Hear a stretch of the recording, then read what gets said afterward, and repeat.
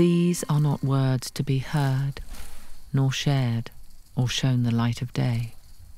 They are not for paper, paragraph, ink or pen, screen, tablet, chalk or dust. In amongst the empire dunes, the slash and spew of that withheld and that released, you, by virtue of excess, became both prisoner and guard. A sentence carved in flesh, buried in plain view. Through unfurled fingers, shoulders tipped, summoned by the sweep of dusk, come the words you'll never hear.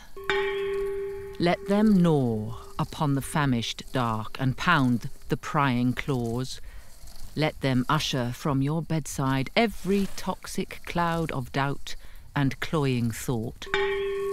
While from deep pools your shallow breath cradles the chimes of concentric circles that burst and spill within.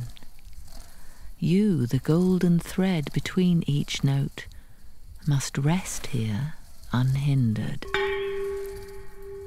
The words you'll never hear surround you. They are proximate, molecular, and unbound. A pack, a shoal, a swathe, a phalanx, bodies moving with the compulsion of the hound. That kernel that contains you, delivered by these vessels and beams, speaks these words in actions. These words you'll never hear.